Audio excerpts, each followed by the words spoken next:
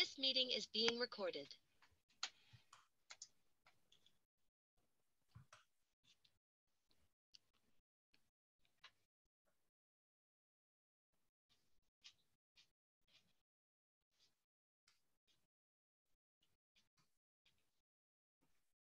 Good afternoon, folks. Um, just taking a minute or two just for delegates to join the call. Thank you for those who have arrived promptly. Um, just aware that people are just dashing in and going to join the call. Um, but you are in the right place if you've uh, come to join the Cardiff University lunchtime webinars for community oncology. Um, today we're doing a update on managing and diagnosing urology cancers with specifically a view to early prostate cancer.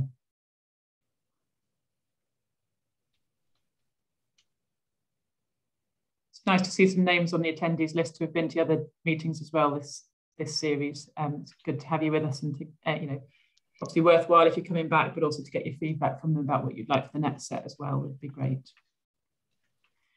Um, I'm aware that delegates have got quite a lot to say to you today. So, uh, sorry, the panelists. So um, I'll probably just get the uh, meeting up and running because we can always, um, you know, catch up with with people arriving later on down the line. So a quick welcome from um, those of us who've been organising it. Um, I'm Elise Lang, I'm a GP in Cardiff, but also working with Indra one day a week. I've been working with colleagues, um, Dr. Fiona Rawlinson and Dr. Mick Button, who are both um, uh, working in Velindre and City Hospice. Um, and Fiona Rawlinson is also um, a um, educational postgrad um, doctor at Cardiff University. Charlotte Stevenson will be the person who's been sending you out all the emails to get you all safely into this meeting.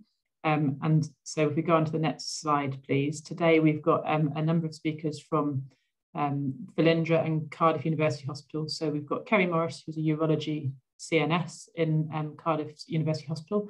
Um, Shri, who's Dr. Shri, sorry, who's one of the um, oncologists in Velindre. And um, Lauren, it's upgraded you to a doctor on this, but Lauren James, who's one of the um, uh, oncology, urology, CNSs in Velindre, and myself and Dr. Button also on the call. Um, thank you. We've got a couple of um, polls just to launch about where you are and what roles you do. Um, Charlotte, if you're okay just to launch those, just to show if, if you're attending this as a delegate, could you just please just tick um, where you, what role you're doing, sorry, is on that first poll. Just so we've got a bit of an idea of who the audience is.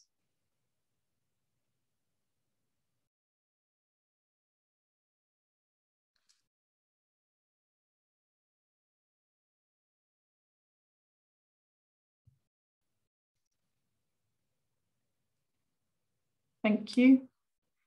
Um, lovely. So again, so far we've got GPs and GP trainees, palliative care and nursing colleagues on the call. I know that with these, we've had quite a lot of people attend online subsequently with quite a lot, a lot of pickups from the recordings. Charlotte's another poll as well. I think there's three, aren't there in total? So yeah, just whereabouts do you mainly work? Where's, where's your main role?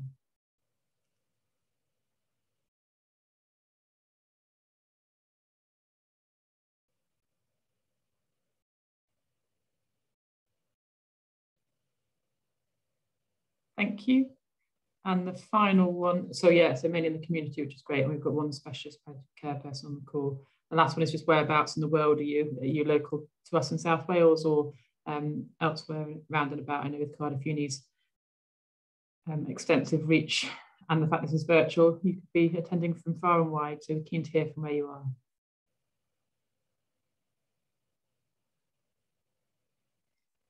Thank you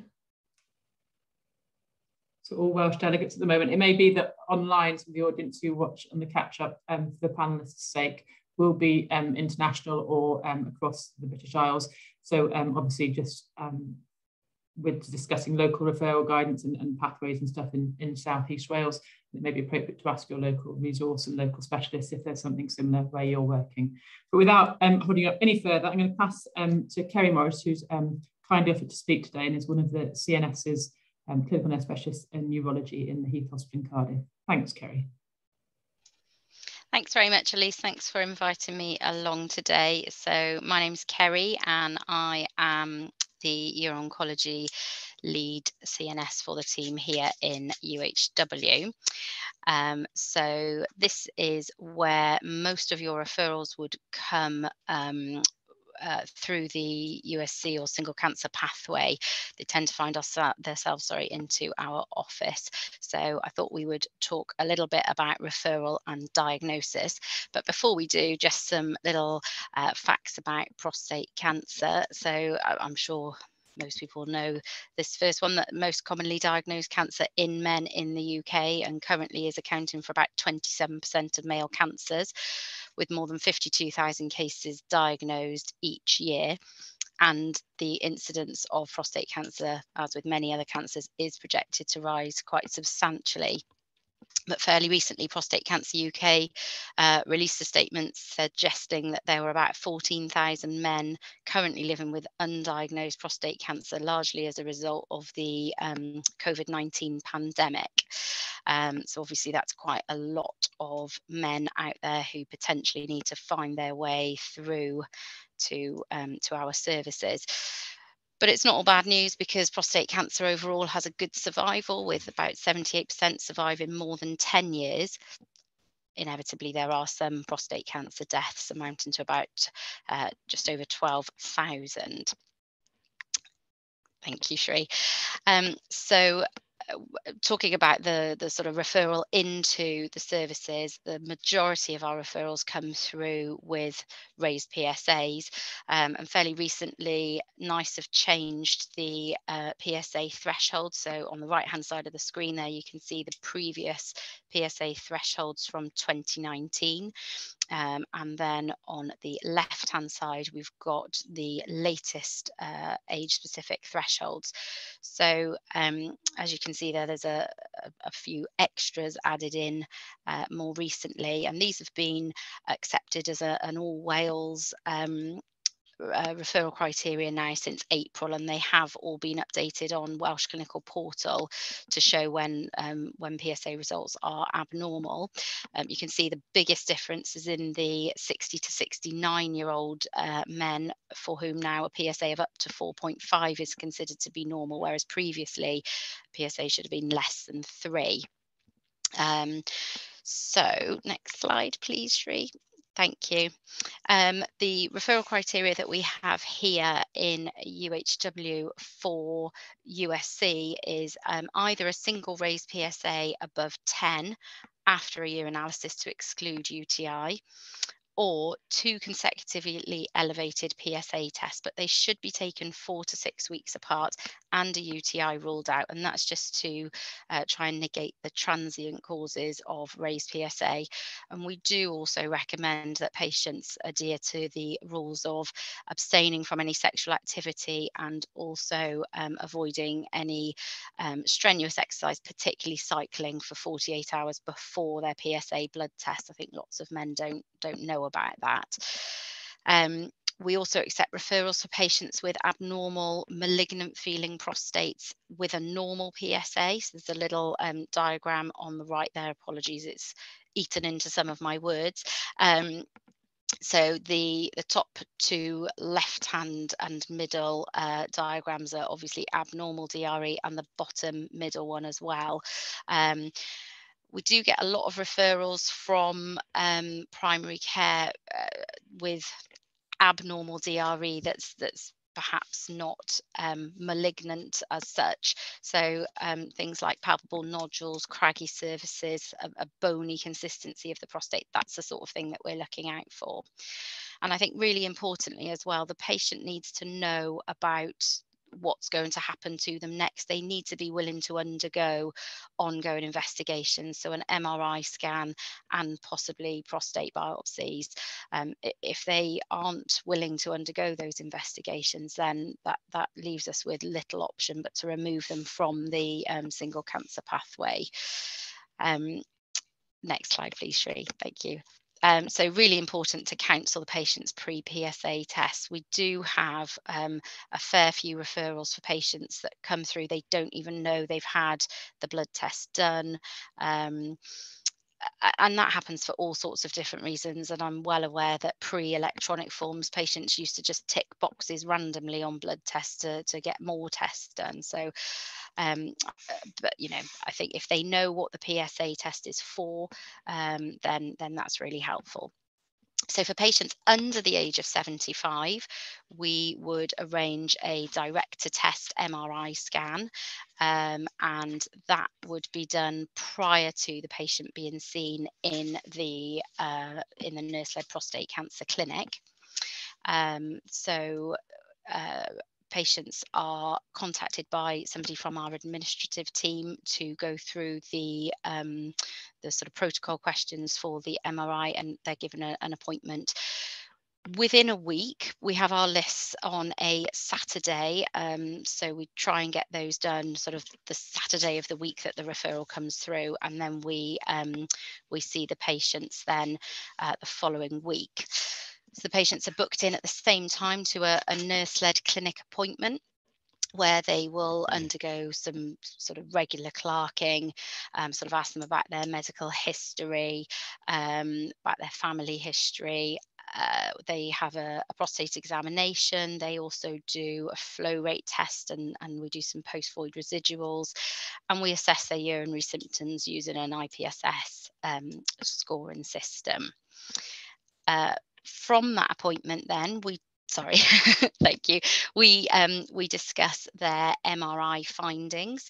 Uh, so any patients who have a, a, a PIRADS 3 4 or 5 we recommend that they have prostate biopsies because of their risk of clinically significant cancer.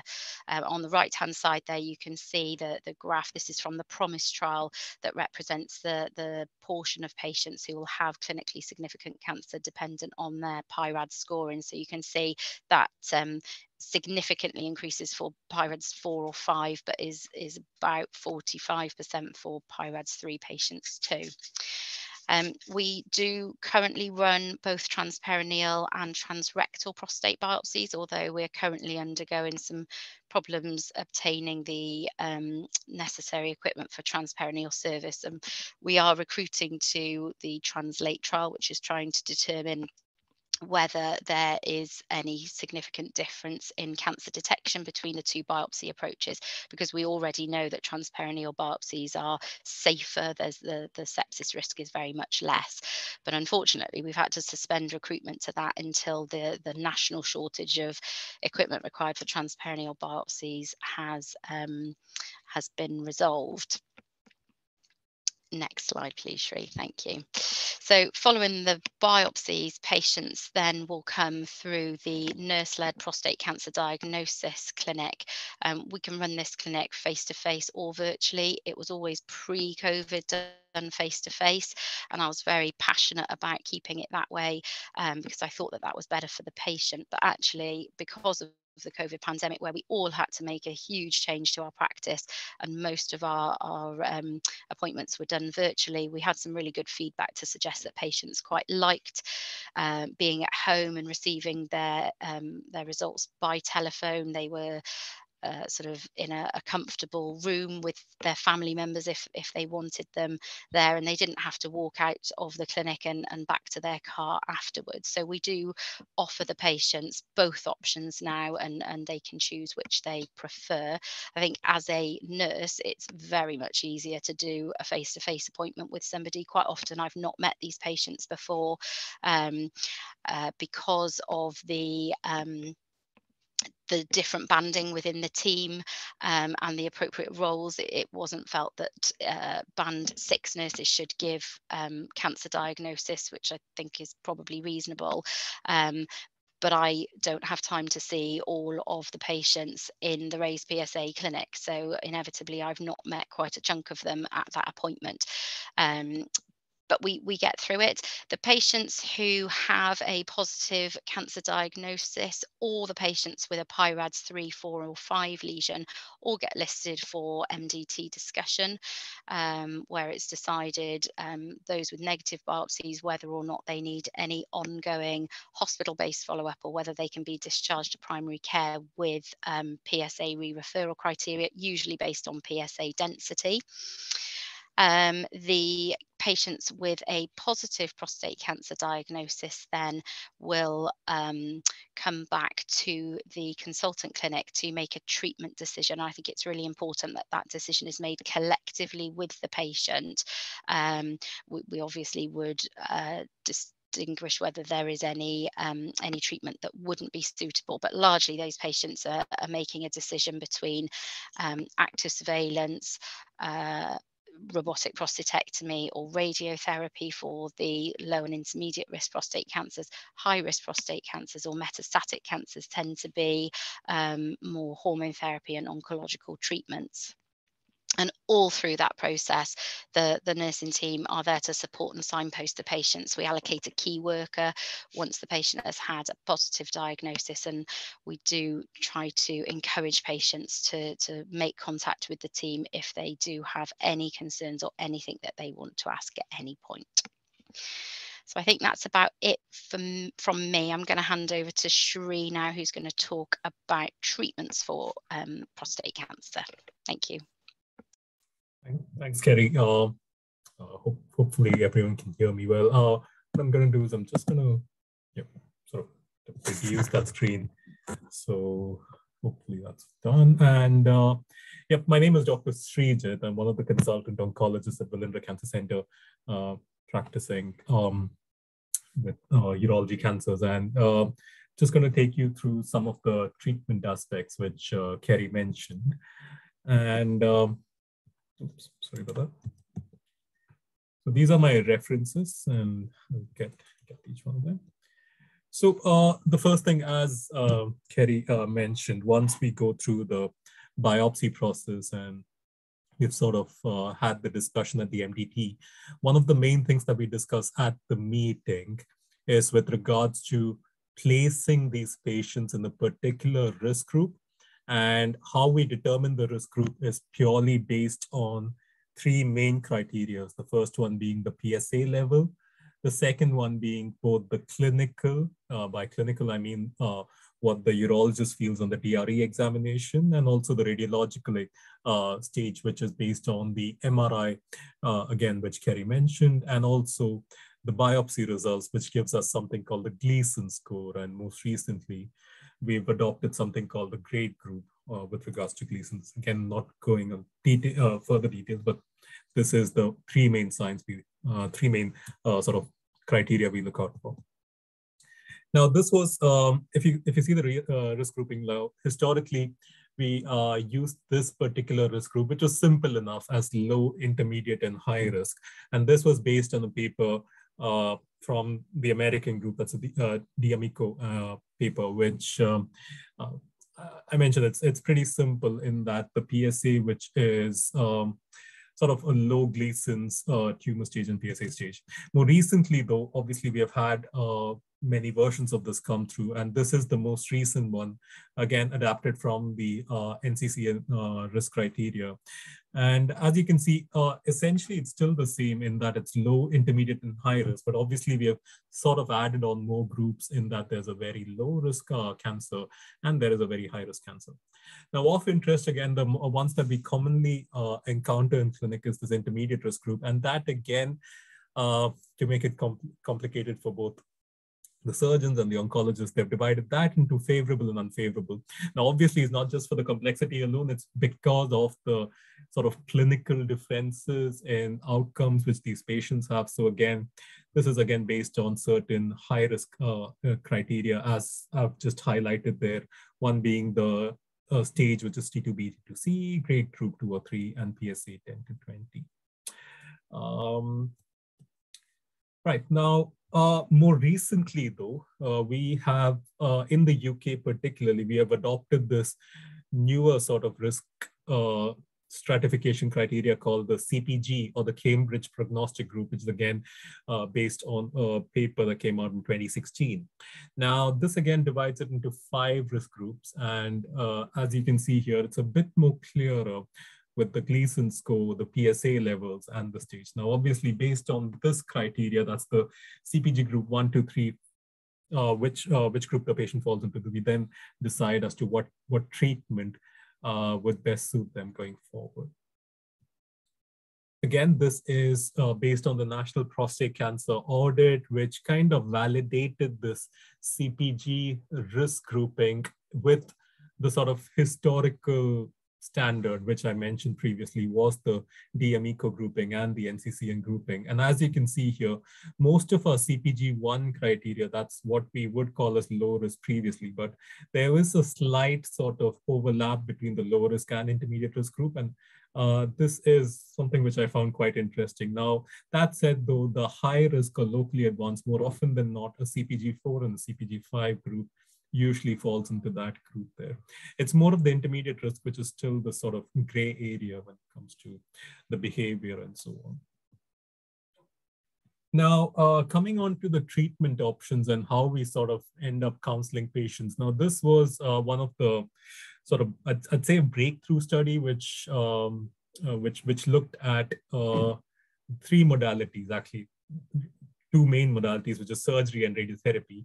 And the other part where can we actually do something called active surveillance for prostate cancer patients. So basically the question they were asking is, many men do not uh, die from their prostate cancer and we tend to overtreat a lot of early stage cancers.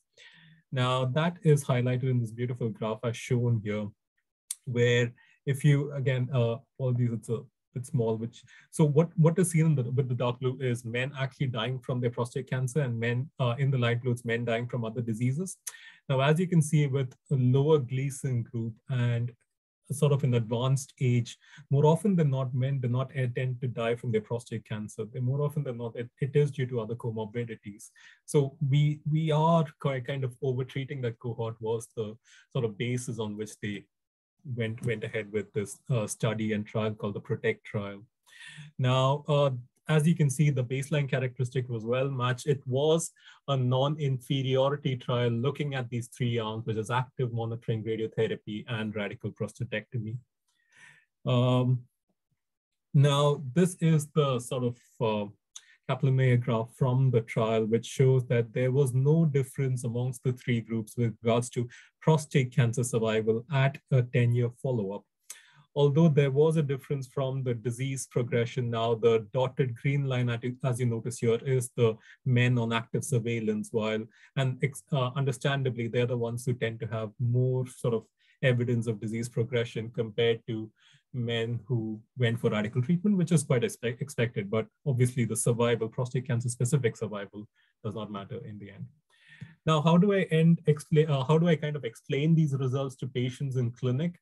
Uh, so basically for this group, which is the low, uh, sort of low, low favorable intermediate risk group, we kind of explain to them that uh, based on this trial, uh, people who did not die from prostate cancer, that's 98 out of 100 percent, 100 patients on active surveillance, uh, did not die of their prostate cancer. And on the other hand, if you did have treatment, it was 99 in both arms. So as you can see, there was no major difference with regards to having treatment, or not having treatment from, based on the PROTECT trial.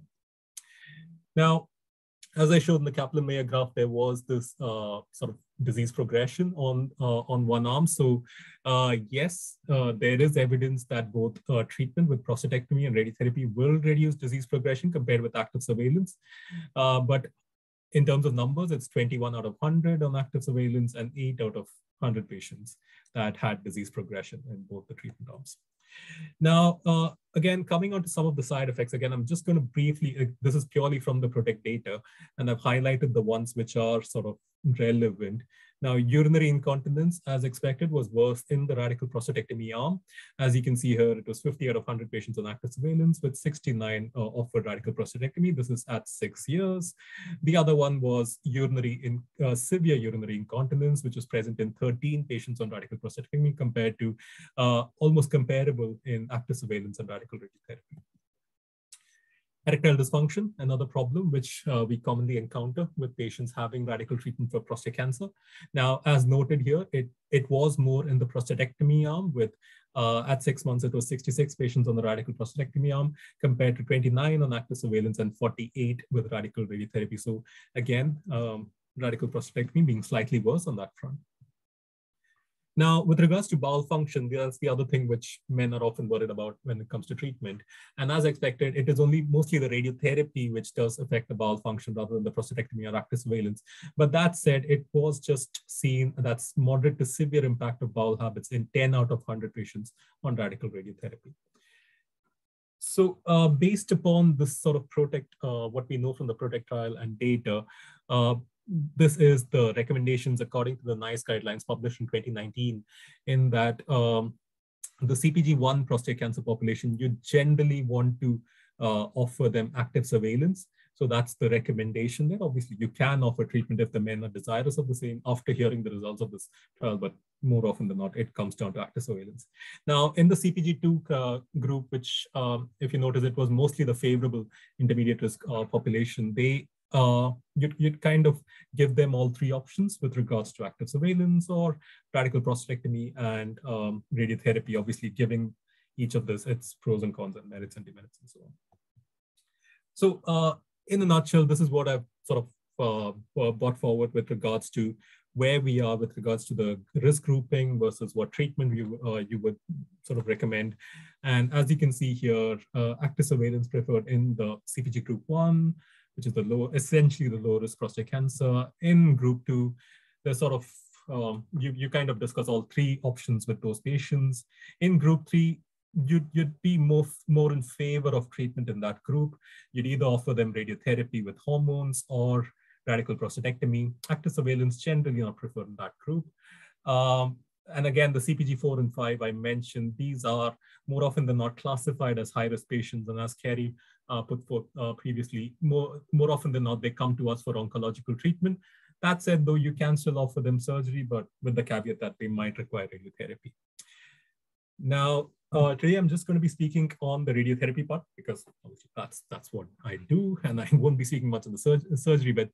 So um, now focusing on the radiotherapy, a uh, quick outline of what exactly is the radiotherapy pathway. It um, so first one is the patient clinical visit and consent. As Kerry mentioned, this is usually done after the patient has a discussion with the urologist and the urology, urology treatment uh, treating team they would give them the option and explain to them regarding the surgery bit, and they send to send to us uh, to explain and counsel regarding the radiotherapy bit, and that's what we that's where we come in. Now, obviously, if they do decide to go for it, then they have something called a CT simulation scan first, which generally, how we say, happens in a week or two after the clinic visit, and then they go on to something called treatment planning, where we outline the case on a CT scan and we plan the radiotherapy with physics involved there. And finally, they get on to the radiotherapy uh, main, which uh, more often than not with radical radiotherapy these days is for 20 sessions, which is 20 fractions. And I'll get to that bit. Uh, so this is a sort of photograph of a machine that we commonly use for prostate cancer radiotherapy. That's the external beam radiotherapy bit. Uh, again, more often, uh, again, uh, if people aren't aware, radiotherapy is high energy x-rays. So that's the main thing we clarify with patients as well, in that it is just x-rays, it is a non-invasive, painless treatment, and that's the main thing to highlight to the patients. Um, so, and, and you won't be radioactive, that's the other question which people have. Now, um, what exactly do we do with radiotherapy? Again, uh, that's highlighted in these two scans here.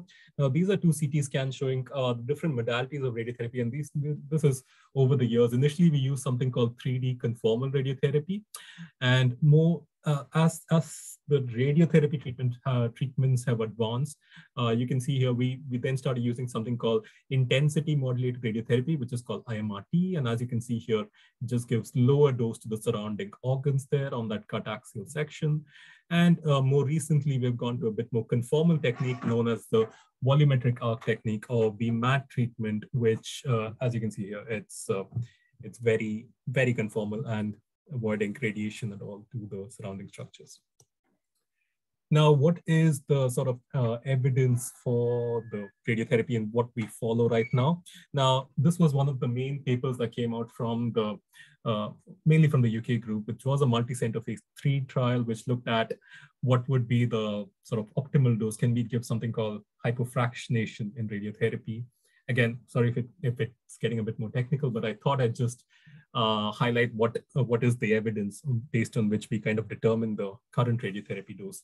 And what it showed was uh, 60 gray in 20 fractions, and that's what we use at the moment for external beam radiotherapy, was found to be non-inferior compared to the standard uh, control, which earlier was 74 gray in 37 fractions, which people have been uh, sort of using previously. And therefore, this was uh, sort of implemented as the sort of standard practice in with regards to what you would recommend as a dosage in external beam radiotherapy. And that's what we use currently with 60 K and 20 fractions.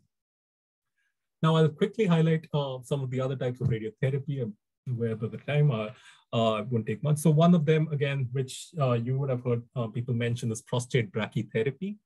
Now, uh, just a caveat here, what I'm going to describe right now is just this high dose rate brachytherapy. Previously, we did use something called low dose rate brachytherapy with seed implant. I'm not going to go through it because that in, in itself is an entire session with radiation protection and so on.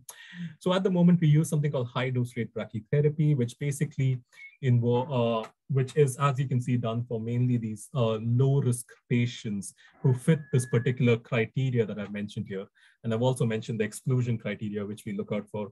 And as Kerry mentioned, they do this baseline uh, urine flow rate and IPSS score. And obviously, if the patient isn't suitable based on that, we wouldn't recommend brachytherapy. Um, when it comes to counseling these patients for brachytherapy in sort of uh, what is the advantage and disadvantage compared to external beam radiotherapy. The main thing, as you can see here on the slide and template, is that the brachytherapy is uh, sort of a quicker treatment in that you just require two sessions of brachytherapy compared to those 20 sessions of external beam radiotherapy and coming into Velindre. So that is one of the advantages as highlighted here. Now, it it it does look it, it looks a bit uncomfortable and sometimes two patients are uncomfortable but obviously this is done under anesthesia and it uh, involves implant catheters uh, put in directly into the prostate gland and then we do something called the ct scan to do uh, a, a, plan. And after the plan is set uh, there is a radioactive source which then passes through the implant catheter straight in the prostate going out and then the catheters are removed and the patient is sent out home. So that in a nutshell is the brachytherapy process. And the main advantage, as you can see here, here is we can treat the prostate with a pretty good dose of radiotherapy without giving uh, uh, significant doses to the surrounding organs, which you might do most of an external beam radiotherapy. So that is sort of uh, the main sort of uh, advantage and why we would recommend brachytherapy to that cohort of patients who are fit for the same. Uh, again, quick a quick word on androgen deprivation therapy. This might be something uh, in the community you must have seen in letters that come from us, where we uh, sorry uh, where we give this uh, ADT along with radiotherapy. Now the basis basis being that uh, again prostate cancer is very sensitive to testosterone testosterone hormone, and therefore we want to suppress that hormone. And the common agents that we use are goserelin and leuprolide mainly in clinical practice. Uh, in certain cases, we also use Degarelix, which is an LHRH antagonist. Again, I've mentioned the trials which have shown benefit in that. I'm not going to uh, explain on that, but based on this, in a nutshell, we recommend four to six months of androgen deprivation therapy in those low and intermediate risk prostate, uh, sorry, intermediate risk prostate cancer and low even intermediate risk prostate cancer patients, and two to three years of ADT treatment in high risk prostate cancer patients. Again, a quick word, another thing which we do use for the high-risk prostate cancer patients is a new is a drug called abiraterone, and that was based. The evidence for that comes from uh, a recent trial called the Stampede trial, again, which was a large multi-center trial uh, done in the UK. Uh, as you can see here, that's the sort of uh, baseline characteristics of the patients there, and there was a significant, uh, and, and, the Kaplan-Meier shows that the failure-free survival was better in the patients with non-metastatic disease uh, on abiraterone. And it's on this basis we kind of uh, recommend abiraterone as well in that high risk. Again, I'm not going to the details of that because that will just uh, prolong this talking further. Now, uh, again, coming on to uh, a quick word on the side effects. Obviously, Lauren's going to be um, explaining more on this. Now, what what what to tell patients with regards to side effects. Now when uh, with the hormones the hormone therapy being the androgen deprivation therapy mentioned uh, you would counsel regarding fatigue weight gain hot flushes impotence osteoporosis and possible cardiac risk. Again that is something to be mindful of especially when you are prescribing androgen deprivation therapy. When it comes to radiotherapy the side effects being uh, fatigue again tiredness uh, the tattoo marks which again we put during radiotherapy, which is small. It's not as big. it's it's just a small mark, but yep, that's something you have to mention. Cystitis, diarrhea, um, risk of impotence, again, which becomes important, especially in the younger patients when you come to decide treatment in them. And again, the small risk of second malignancies and long-term risk of uh, bladder and bowel damage.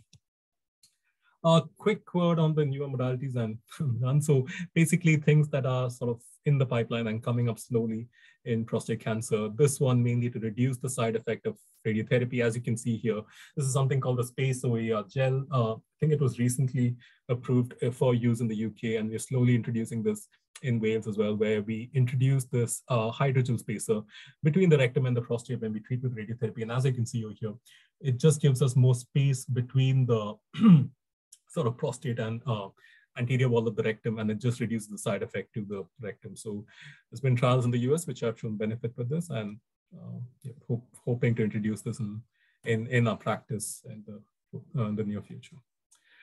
Again, what next in terms of radiotherapy, and this might be something you might hear more, more of, wherein we're going from 20 fractions to five fractions. We're just reducing the uh, sort of uh, duration of radiotherapy. There are two trials ongoing for this. One was the HypoRT trial, which has which was mainly based in Europe, it's finished recruitment, awaiting uh, results from the same.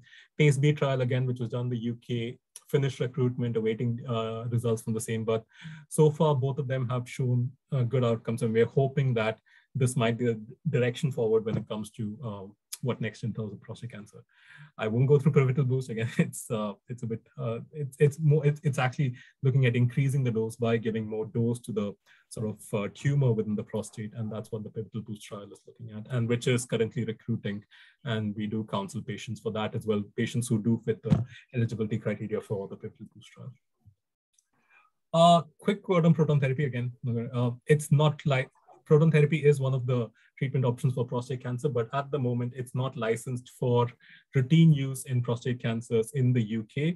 Why? Because there have been many trials which have shown that there's no benefit of proton therapy compared to standard sort of uh, radiotherapy. But as you can see here beautifully in the plants with proton therapy, you can completely avoid those to the surrounding organs. But, but in the process, unfortunately, in this space, there's no benefit. There has there hasn't been uh, shown any particular benefit compared to standard radiotherapy. So uh, I thank thank thank uh, thank you all, and I will uh, I'll introduce Lauren next to uh, continue with the talk. Uh, so thank you, everyone.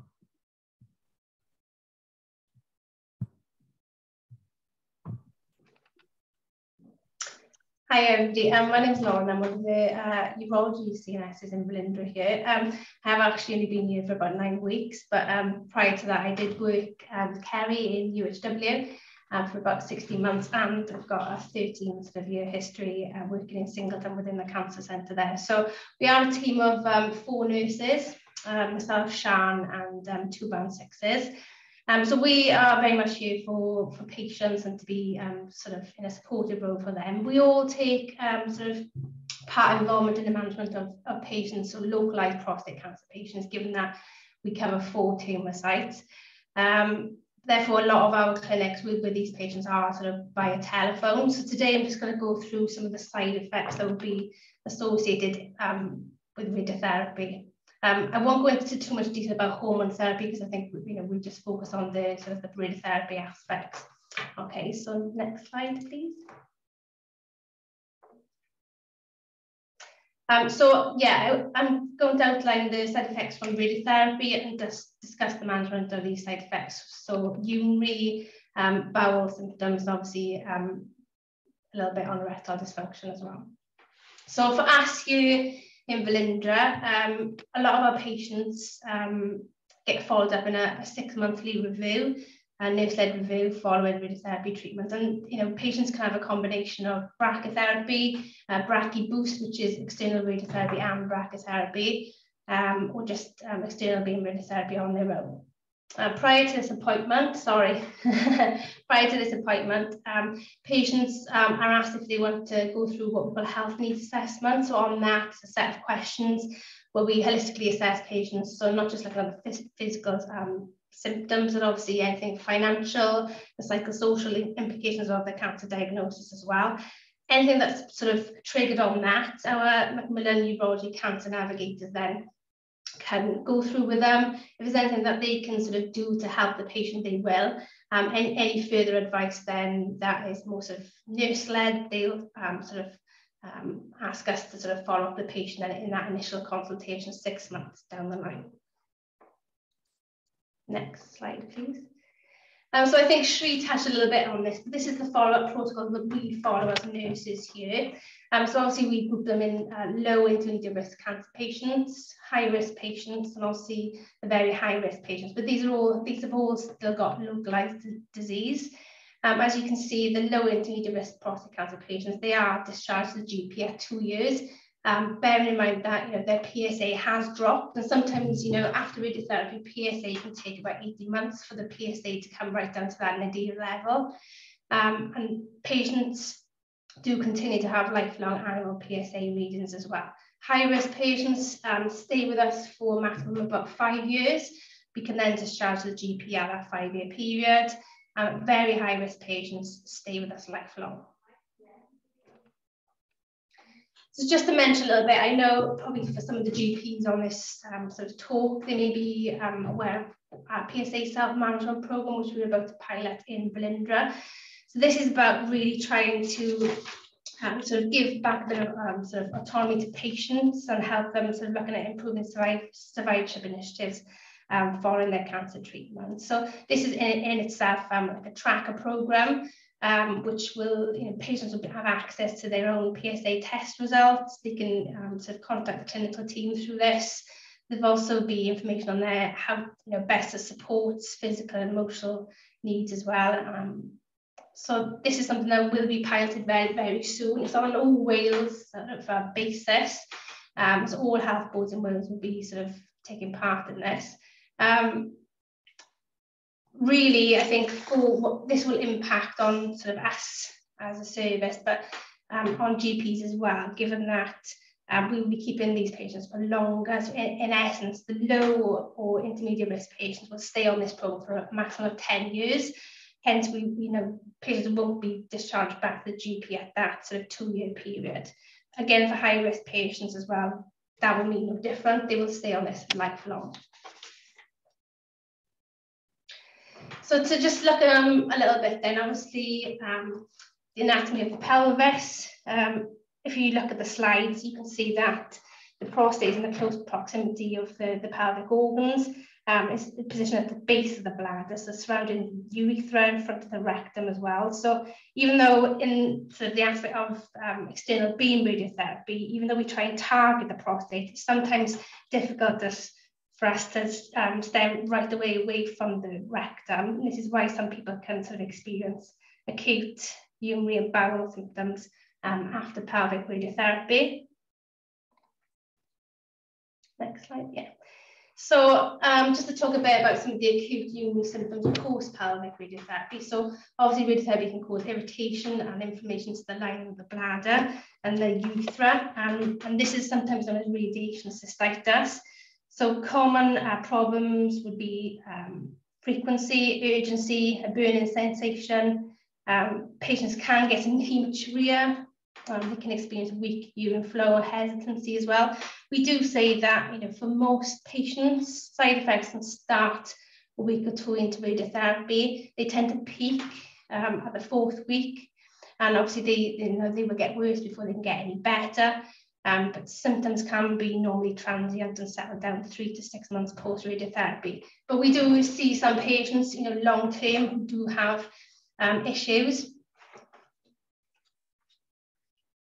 So the treatment of urinary symptoms post radiotherapy. So we may ask for patients to provide a urine sample just to eliminate the UTI in the first instance.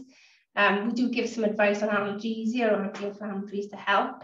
There are patients who do require uh, potentially an alpha blocker, which uh, in the form of something like tamsulosin to try and relax the muscles in the prostate, to have them, you know, sort of boil urine a lot easy, easy, easily, and um, maybe something like solifenacin, which will help stop bladder spasms as well and reduce the feeling of urgency. We do write to the GPs quite a bit, asking them to prescribe these medications, and it's not that we're lazy.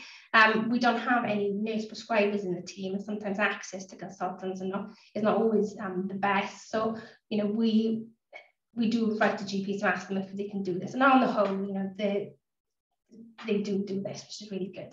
Um, on rare occasions, men sometimes are unable to pass urine, and, and for those patients who are on brachytherapy, um, it can sometimes lead to what we call a stricture. So they may require a short-term catheter. We do give advice on fluids management to avoid caffeine, um, alcohol, and um, trying to drink you know, decaffeinated products, um, drinking two litres a day. Um, we do encourage as well pelvic floor exercises and bladder training. And for those patients who've got long-term problems, uh, to consider them either a urology or continence uh, referral. So GI side effects after radiotherapy. Um, a lot of patients do get GI side effects. Um, again, um, radiotherapy can irritate the lining of the bowel and the rectum. Um, these usually start to do or shortly after treatment. They usually start to settle down several weeks after finishing treatment. But um, you know, we do get some patients who six months, uh, maybe a year or so down the line, have got ongoing issues, and we do find that. I think those people who've had bleeding through throughout radiotherapy tend to be those patients who will have long-term problems. So you can get diarrhea, constipation, um, fecal urgency leakage, and proctitis, which is bleeding or rectal pain um, excess wind and mucus discharge as well. And obviously this feeling of what we call a tenesmus, which is needing um, to go to the toilet and emptying bowels quite frequently. So the management of bowel symptoms. So we do encourage um, patients, you know, particularly after radiotherapy, if they have got loose stools, and um, maybe taken out to diarrhea. Um, obviously analgesia as well to try and control rectal or abdominal pain. Um, there are what we call Proctosedyl suppositories, which can help to ease rectal pain. Um, they are um, a form of local anesthetic and anti-inflammatory, so they will help to sort of relieve that feeling of pain in the area and help lessen the, the spasm in the back passage as well, and help as well with um, low swelling, itching, and uh, discharge. Um, obviously, we can use Buscopan as well if patients who are feeling bloated or have abdominal distension. Um, again, laxatives for constipation. Um, we can also use stool bulk, bulking medications to increase stool bulk and uh, regulate bowels as well. Um, we do give advice as well on um, sort of dietary intake. Um, we know that um, sometimes we know promote a healthy diet, but it's not always the best in the long term for people who have got diarrhea. Sometimes it can make things worse. So obviously there's two different types of fibre, insoluble and soluble fibre. So that can be dependent on in managing constipation or um, sort of helping to relieve diarrhea as well. Um, again, giving advice on um, strengthening the muscles, use of bowel control, so pelvic floor exercises. Um, and as well, I think it's important that we should review any sort of um, existing medication that patients are on. We know that things like um, antacids, uh, proton pump inhibitors, um, laxatives, things like metoclopramide can induce diarrhea, metformin as well for diabetics can um, contribute to diarrhea as well, and obviously, obviously beta blockers as well. Um, and there are medications that can sort of um, cause more constipation. So things like opioids, which you know people are aware of, and ondansetron, iron tablets as well. So for those patients who have got um, long-term side effects, have bowel side effects, um, we do say that you possibly they need to refer to gastroenterology. Um, so we, I think we need to um, quantify if they are experience, experiencing blood loss, quantify how, you know, this blood loss and the frequency of it. Um, perhaps it may warrant an FBC or ferritin to assess the severity. We may advise tranexamic acid. There is what we can use is sucralfate enemas. These can be helpful, although sometimes um, they use off license, so they can be a bit problematic in terms of prescribing them. They tend to be specialist initiated as well. For Cardiff patients, um, we have been really good that for us as nurses, we've been able to um, refer patients within that facility to um, a late GI effects pelvic radiation clinic, which is based in Llandough. Um, there is an endoscopist over there, Rachel Edwards, who's, who's very good. Um, she will review the patient. Uh, in some cases, carry out colonoscopy and then follow the patient up Um, but like I say, that is only for Cardiff patients. And I think the service is predominantly used for gynae patients, but obviously um, they do um, sort of, uh, we can refer for prostate patients as well. Um, so just to quickly go through the management of um, ED. Um, I think ED is an issue that is not addressed enough um, and can have a massive impact on, on the patient. Um, you know, we tend to focus a lot on urinary side effects and um, bowel side effects, but as nurses, I think this is something that we predominantly address. Um, and I think historically the ED pathway has always been provided by the CNS um, in terms of reviewing oral medications. Um, and I think really the pathway starts at the, at the point of um, decision of treatment, really.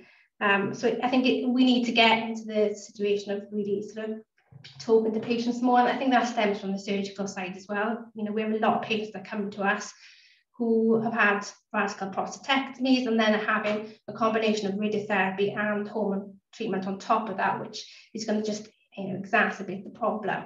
So obviously prostate cancer treatment that can lead to erectile dysfunction can be radical surgery in the form of either a cystectomy or prostatectomy uh, brachytherapy, combination therapy, salvage uh, radiotherapy as well for, for patients who've um, had biochemical recurrence after um, surgery. Um, and obviously hormonal therapy as well can reduce sex drive. Um, and we hope that you know sometimes when treatment is completed that it can sort of um, resolve. But this again can take quite a few months after uh, hormone treatment to sort of improve the treatments that cause the problem, not the disease itself. So we can see that the factors affecting erectile function, so it could be damage to the cavernous nerves and the blood vessels, um, psychological consequences of diagnosis and treatment. So this obviously has an impact not just on the patient, but also the partner as well. And something I'm looking quite um, at within my sort of thesis at the moment, part of my dissertation. So, you know, it can cause um, a wide range of um, psychosocial issues, um, intimacy issues, communication issues. Um, so it's not just the physical side effects. And obviously we need to look as well at pre-existing erectile dysfunction. So there may be those patients who have cardiac disease, underlying cardiac disease, maybe didn't have very good erectile function prior to these treatments. So I think it's a matter of doing shim scores and, and various assessments to try and establish that first of all as well. So the nature of the problem. So radiotherapy can cause arousal problems, um, difficulty achieving erections, maintaining erections. Um, obviously then you can get painful ejaculation um, and an inability to ejaculate as well. So first line treatment options. Um, so as CNSs, we ask GPs quite a lot um, if they um, are willing to prescribe um, PDE5 inhibitors as a first line treatment. So there are three at the moment that we recommend. Viagra, Levitra and Cialis. Obviously, um, these are tablets that are contraindicated in patients with unstable heart disease who are on nitrates as well.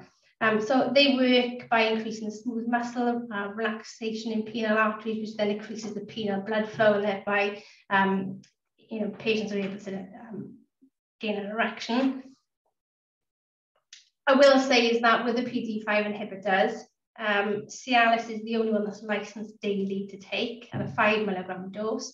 Um, and we do say that, you know, to patients that they do work with a bit of sexual stimulation. Um, and we do encourage as well for those patients who are on these um, to try as well um, what we call a vacuum erection device pump, which again, all sort of um, helps improve re rehabilitation. Um, the tablets work about 30 to 60 minutes before sexual intercourse, and they sometimes last about four to five hours, but Cialis lasting up to 36 hours. We do say as well that, you know, patients should try them for at least eight doses before classing them as a failure. And we do like to go through and exhaust um, the three sort of PDE5 inhibitors before we look to, you know, commencing patients on other treatments. Um, so again, like I was mentioned, the vacuum erection device pump um, cautions obviously uh, given with, these, um, with this treatment for patients who are on warfarin. Um, currently, we don't have um, erectile dysfunction uh, clinic in Velindre. Um, and I know of only two specialist ED sort of clinics. One is in Swansea and one in the Gwent as well. Um, so this is something that I'm quite passionate about and I want to try and develop in Velindre for cancer patients. Um, we are we do have close links with our um, vacuum erection device uh, pharmaceutical rep, who's very good um, and we often give his contact number to patients. Obviously, we can't give patient details out because of confidentiality to him, but patients are more than willing sometimes when we sort of explain that the pump to give him a ring and he will go through the um, sort of um, get, you know, patient education on the pump and, and sort of go through things with them. Um, and then once he sends a report to us, then we can write to the GP and ask them to prescribe the pump. We haven't had any issues with um, sort of vacuum erection device pump prescribing through GPs. There have been on, on occasion some issues with um, GPs in, in the Gwent. Um, but on the whole, um, obviously these um, this pump needs to be prescribed on an SLS basis um, from the National Formulary. Um, obviously, second line um, options then are what we call intraurethral creams. Uh, one is um, one is actually a pellet called Muse, or the other one is Vitaros, which is, is, is more of a cream. Um, again, this is these need to be initiated within a specialist ED service, which we don't have in Velindre. Um, their sort of effectiveness is sometimes a bit hit and miss. Um, they involve inserting through the into the penis down into the urethra.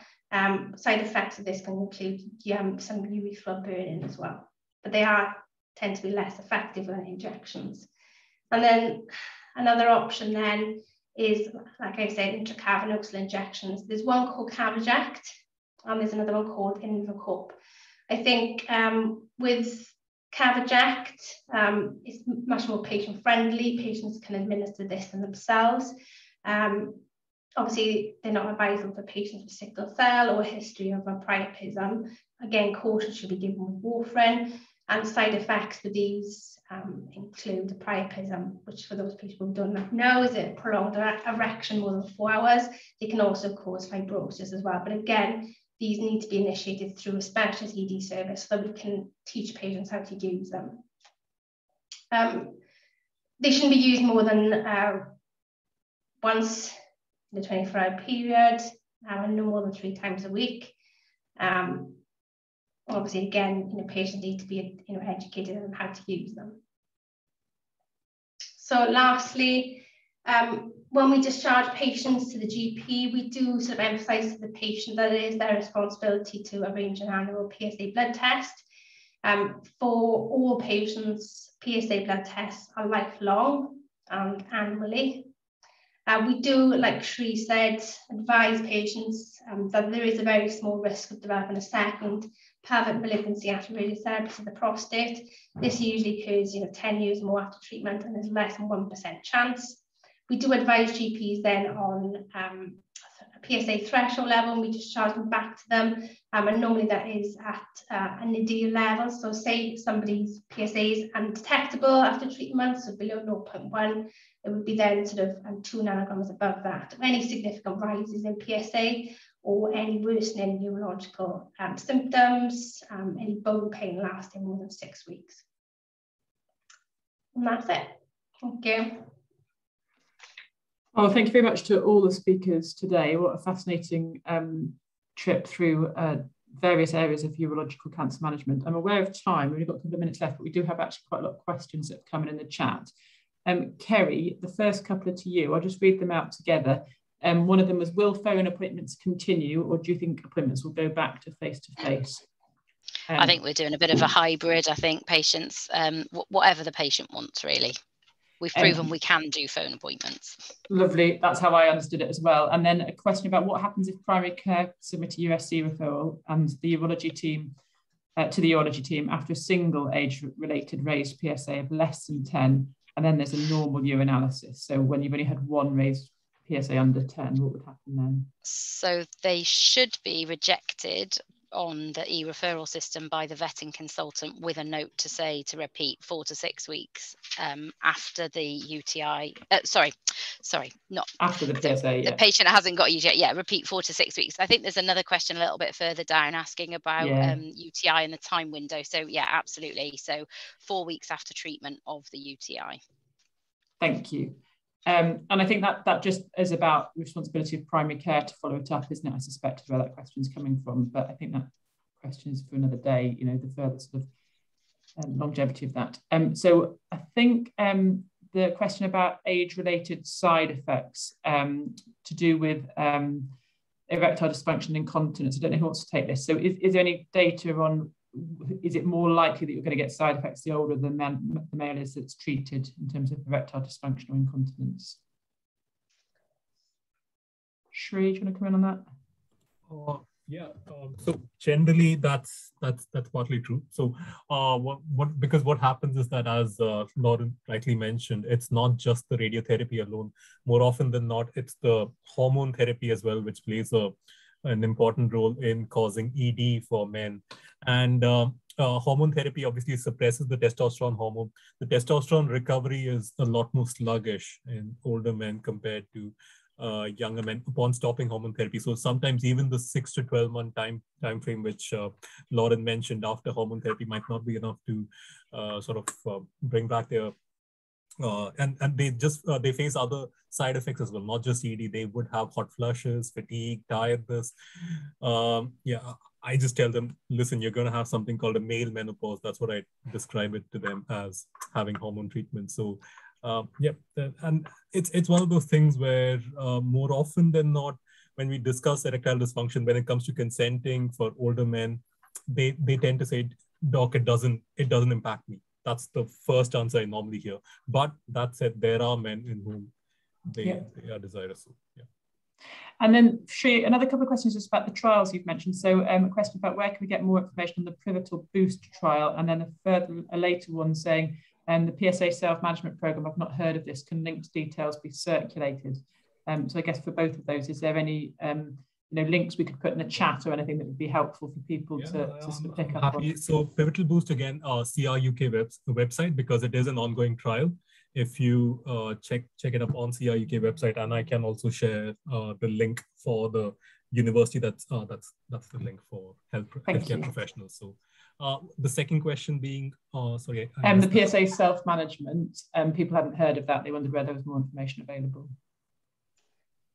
Um, yeah, obviously I haven't, been, so I, I, haven't been involved too much with this. My obviously Sean, my colleague, has, but I know it's um, an All Wales approach and it's been delivered by all health boards. But as yet, it hasn't been piloted. So um, yeah, there's definitely more information out there, and I can certainly send um, links on. But um, yeah, it's not out there yet. So I think you know we have primary care links within all the health boards. We have a urology lead um, mm. GP as well. So we can get messages shared to primary care as and when there is messages to be shared. So certainly don't panic yet in primary care with that one. Um, a quick um, request, just and a reminder, I forgot to say at the beginning that thank you to Macmillan who've funded all these webinars. Um, the Cancer Support Charity so they're all free for attendees and we're really very grateful for that. But I really, you know, you know, heartfelt thank you to all the speakers today, to Kerry, to Shri, and to Lauren for, you know, really spot on, as was commented on in the chat, talk for primary care, you know, what we needed to know and, and hopefully help you with your, you know, appropriate referrals and appropriate management from the community. If delegates could kindly fill in the feedback, um, either by the QR code or that link, um, then we can send you the um, certificate for attendance. And there is one more webinar left in this series, which is next week, and it's an update in gynecological cancer, which again is going to be a, run through, but um, lots of fascinating data to come to you there as well. So thank you for your time. Thank you to the speakers, and we'll see you again next week.